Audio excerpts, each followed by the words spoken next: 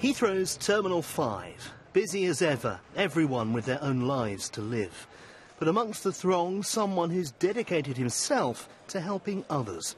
He's former soldier Wayne Ingram, who's come to Heathrow to meet Stefan Savic, a Bosnian lad he's been helping for over a decade. I was in charge of an area called Laktaši. I normally, you know, the British Army is very good at hearts and minds. We'd arrange meetings to introduce ourselves to people. Um, it was then during a meeting that I was introduced to the Minister of Defence, who told me, said, look, have you seen this? And showed me a picture of Stefan. I met Stefan's father, Milos, at the time. I was then invited to the house. I was really nervous when I, I went to the house, but then when you meet Stefan, you meet the family. Stefan, apart from his face with disfigurement, this is like any other child. Run towards me, fell over, and really from that moment I thought, yeah, okay, let's let's see what we can do. Uh, and again, it was a struggle initially. I didn't know if it was going to happen, but 10 years later, yeah, we're here for the final operation. Wayne was serving in Bosnia with 9th 12th Lancers when he met Stefan for the first time.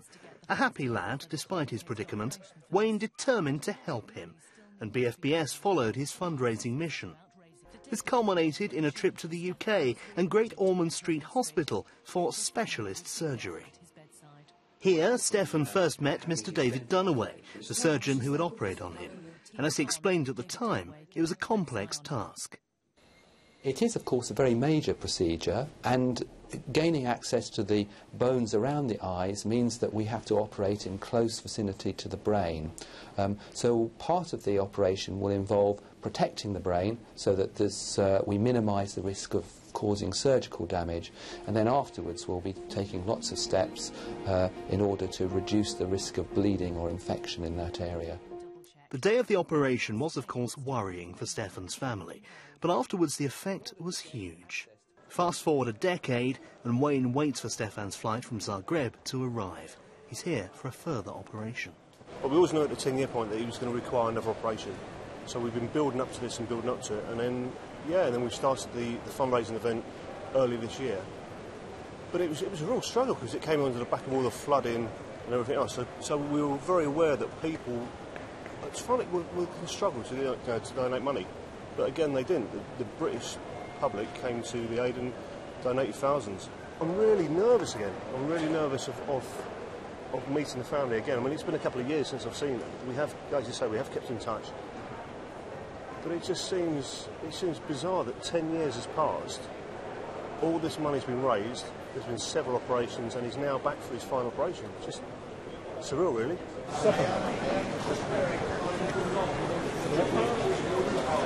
Wayne needn't have worried. A happy reunion was guaranteed. A chance for Wayne, Stefan, and Mum Slava to get reacquainted before a big day.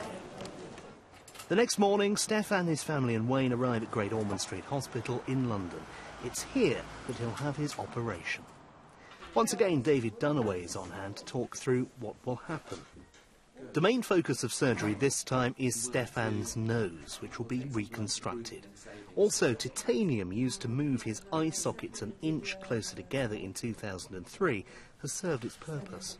I want to get all of that metalwork out, which is now no longer necessary, uh, and take the next stage in reconstructing his nose, which is to give it more of a framework, and he needs some cartilage in his nose, which is missing. So the plan is that we will take a piece of uh, rib cartilage uh, and then fashion that into a nasal shape, re-drape the skin over it, and make a, a nasal skeleton covered by his skin. And I, I think that should have a very good effect in imp- improving the appearance of the nose. And I think it also, at the same time, will be able to improve his nasal airway. Before the operation, the hospital checks Stefan is in tip-top condition. The procedure is scheduled to take between four and five hours and will be carried out under general anaesthetic. But that's still in the future. First, Wayne wants the Savic family to meet the Facing the World charity who've helped with the arrangements for the trip. There, Stefan and Slava explained to me how grateful they are for all the help and support Wayne has given them. It means the world to us since in September he's starting secondary school and it's really important for him to have this correction now. How important has this all been to you and how will it change your life? I'm really pleased. I'm really pleased to have this surgery. I don't know what else to say. Bovington Tank Museum in Dorset. And less than a week after the operation, Stefan's getting along really well. There's no doubt the surgery carried out by Great Ormond Street Hospital has drastically improved his chances of living a normal life. This latest nose reconstruction work should be the last major facial operation he'll have to endure, although he will need orthodontic work in the next few years. For Wayne, seeing Stefan again and helping in his continuing recovery is deeply moving.